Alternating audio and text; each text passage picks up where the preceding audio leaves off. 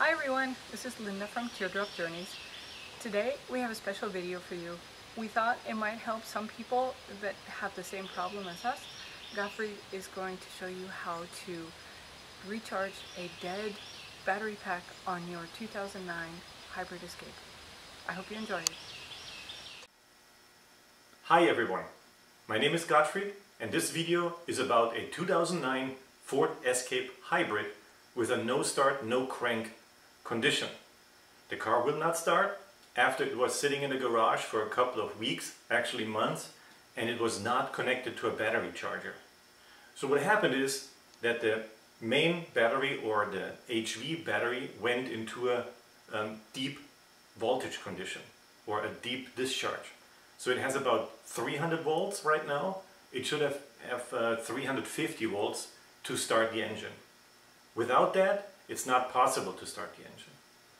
Until the model year 2008, there was a possibility to charge the battery, give it a boost, um, and charge the HV battery with the smaller auxiliary battery in front of the, um, uh, or in, in, the engine compartment. This went away starting with the 2009 model.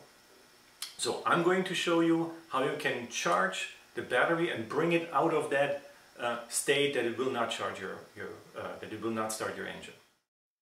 Okay, so here's what you're going to find in your car if you have that condition. When you turn the ignition on, it will say stop safely now in the display. It shows the little service wrench and it shows the triangle of death.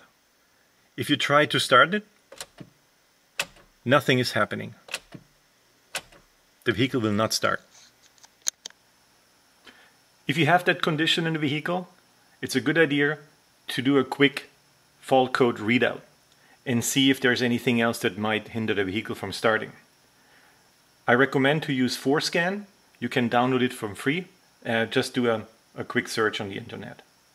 When you do the fault code readout, you will find that there is a battery control module fault code and it will tell you that the hybrid battery pack state of charge low.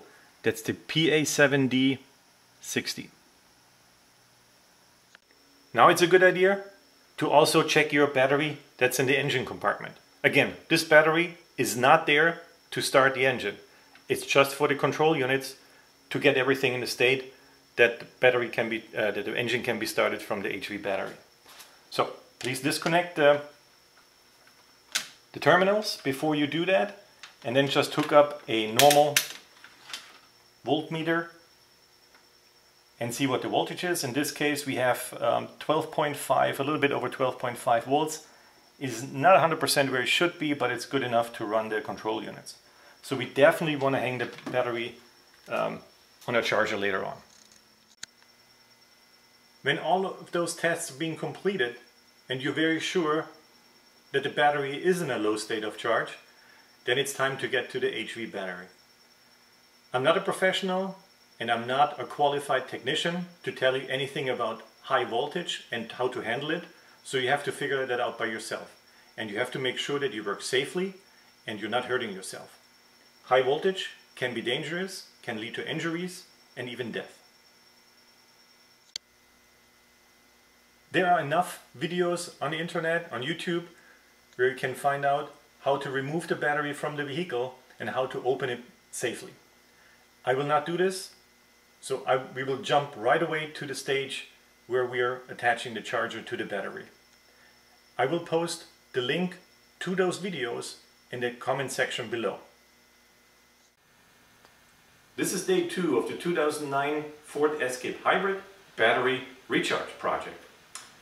So in order to get to the battery, you have to remove the lid of the battery. A couple of screws outside. Again, there are some videos out there. They explain it very detailed how to get the lid off and get the battery out of the car. And in this regard, you need at least two people. My wife Linda was helping me yesterday getting the battery out. This is a heavy sucker. It's about 200 pounds or translated in metric heavy. This is the safety switch. The safety switch has to be removed in order to get the lid off. Don't reinstall the safety switch because it connects the two parts of the battery, the upper and lower part, which then gives a 300 volt plus charge on the leads.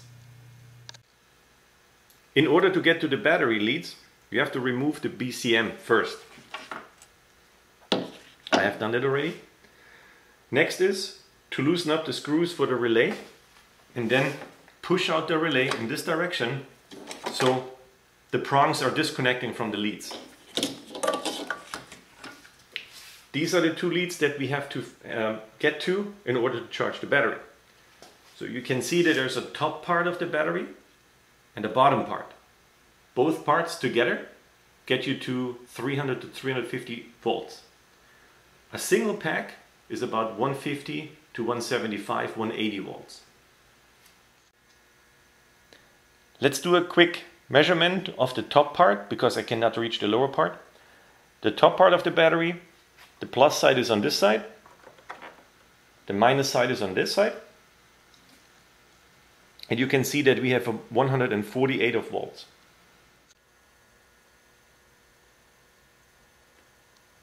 With the charger attached to the leads, again, the plus side is on the bottom, the minus side is on the top. We should have no voltage right now because the safety switch is not installed. So quick check. No voltage. The next step is to install the safety switch.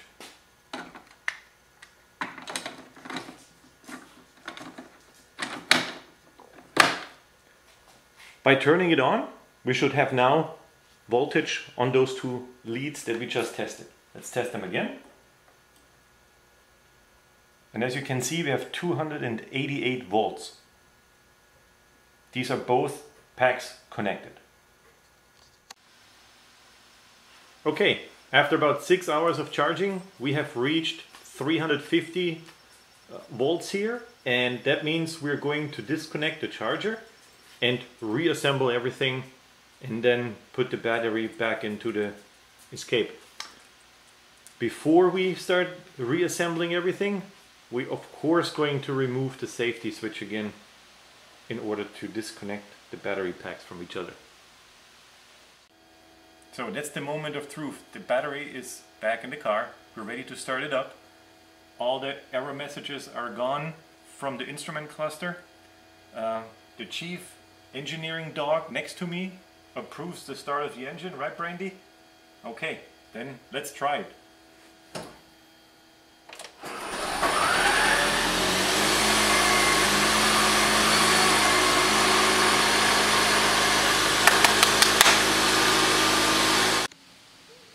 Thank you for watching. If you know someone who has a similar problem with a 2009 Ford Escape Hybrid, please feel free to share this video. If you have questions, please put them in the comment section below. Thanks again, and see you next time. Bye bye.